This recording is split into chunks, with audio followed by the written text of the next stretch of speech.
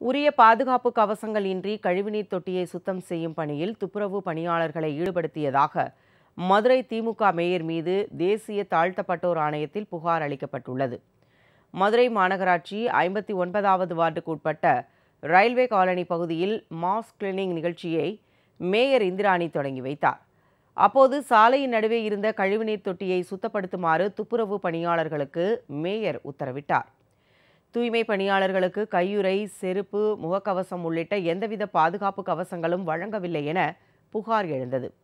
இந்த நிலையில் உரிய பாதுகாப்பு உபகரணங்களின்றி கழிவுநீர் தொட்டியை தூய்மைப்படுத்தும் பணியில் தூய்மை பணியாளர்களை ஈடுபடுத்தியதாக மதுரை மாநகராட்சி மேயர் இந்திராணி மற்றும் மாநகராட்சி அதிகாரிகள் மீது தேசிய தாழ்த்தப்பட்ட ஆணைய தலைவர் உள்ளிட்டோரிடம் வழக்கறிஞர் முத்துக்குமார் என்பவர் புகார் மனு அளித்துள்ளார்.